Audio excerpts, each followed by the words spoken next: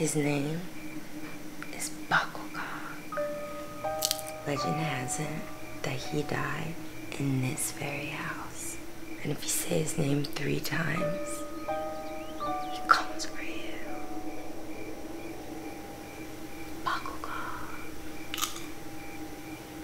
Bogglegog. But wait. Didn't you already say his name?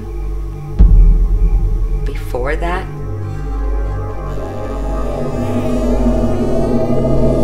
Cut it! Sallie, the line is, didn't you say his name already one time before That that? doesn't even sound natural. You know what? Let's just get the line from a wider shot and I'll fix it in post, okay? Whatever it is.